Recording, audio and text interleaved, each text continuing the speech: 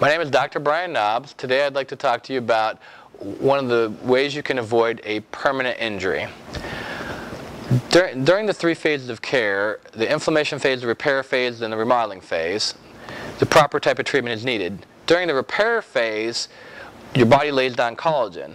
And one of the problems with that is your collagen is not as strong. So you lose tissue strength it, without the proper treatment during that phase of care.